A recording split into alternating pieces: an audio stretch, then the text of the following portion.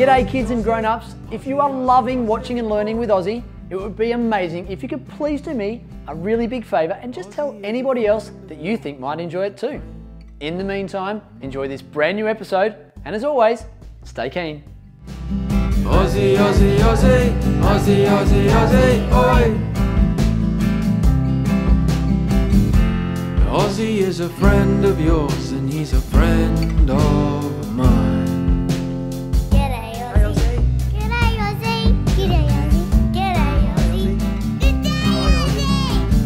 G'day kids, Ozzie here. So we've got a very special book for you today, all about Anzac Day. It's called What Will I See on Anzac Day? And it's written by Emily Elizabeth and illustrated by Natasha Silva. Now you can learn all about Anzac Day on one of Ozzie's other awesome videos on our YouTube channel. But just as a reminder, Anzac Day happens on the 25th of April and it's a national day of remembrance and commemoration for those who have fought or served for our country in wars or peacekeeping operations. Now let's read this really cool book.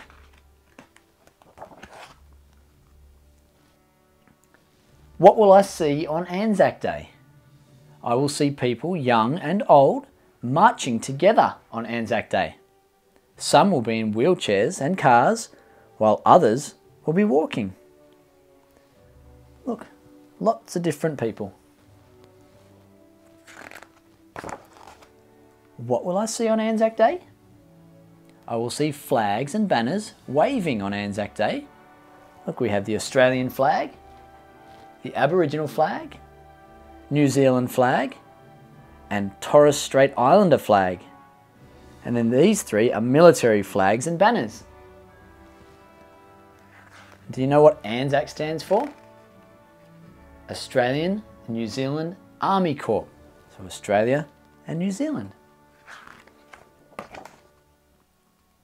What will I see on Anzac Day? I will see uniforms on Anzac Day. Army uniforms, Navy uniforms, and Air Force uniforms. Police officers, firefighters, paramedics, state emergency services or SES, and other community helpers also march alongside the military so we can say thank you for their service.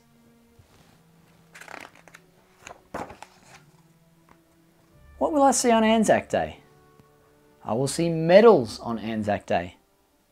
Medals are worn by people who are or used to be in the Navy, the Army, or Air Force on the left side of their chest. So, this is an illustration of someone that has served in one of those things because they're wearing it on their left side. Family members and friends can also wear the medals on their right side of their chest. See, there's some family members, some young girls here wearing medals on the right side of their chest.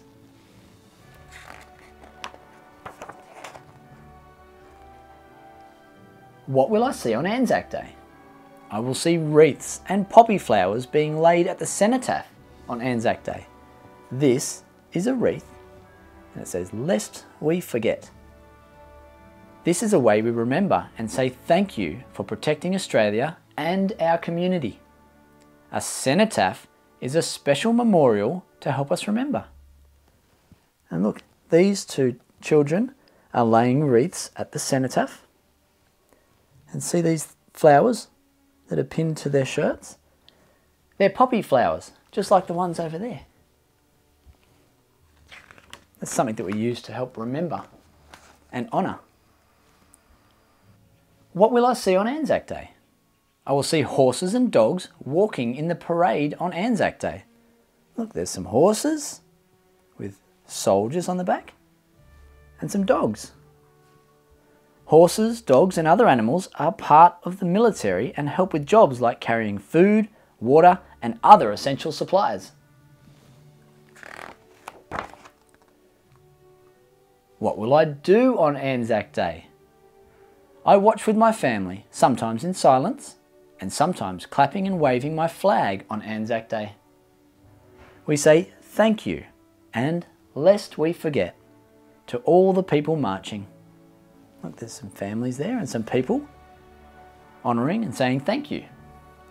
There's some more over here waving their flags. What will I hear on Anzac Day? I will hear a bugle, that's a bugle, bagpipes, and bands playing. There will also be times when I hear nothing on Anzac Day. Silence is for one minute so we can remember all the people and things we saw on Anzac Day. I will hear people say the words, lest we forget. And that, that's the bugle. And when do we hear that? We hear that when they play the last post. So, this is such a great book. There's so much information here so that you can talk about all this stuff with your parents, the grown ups, or your teachers if you want to learn more about Anzac Day. And then this is just a little bit about the author, Emily. She's a teacher as well. And her dad was actually a Vietnam veteran. So he served in the war. So she likes to do a lot of stuff teaching kids all about the importance of the war and the importance of making sure that we recognize things like Anzac Day. And this is about the illustrator. So Natasha, who drew all the really cool pictures throughout the book, she is actually in the Royal Australian Air Force. So she does that as a job and she also draws pictures. How cool is that? So kids, I hope you've really enjoyed listening to this book today and you've got lots of ideas about what Anzac means. And hopefully on Anzac Day, on the 25th of April, you want to celebrate and mark the occasion doing something special with your family. Kids, I hope you enjoy your Anzac Day. We'll see you again on another story time with Ozzie soon. Until then, stay keen. Hey kids, did you have lots of fun today watching Ozzie? I hope so. Did you know that we've got a heap of Ozzie episodes on our YouTube channel? If you haven't already, go back and have a scroll through. I reckon you'll find some others that you absolutely love. And while you're there, why don't you hit subscribe? That way you won't miss out on any of our new videos that we bring out. We'll see you again soon, kids. Until then, stay keen. Oh, and by the way, did you happen to find the hidden Ozzie icon in that video? Yeah, make sure you look closely because they're in every single video. That's right. Stay keen, kids. Ozzie, Ozzie, Ozzie, Ozzie, Ozzie, Ozzie, oi!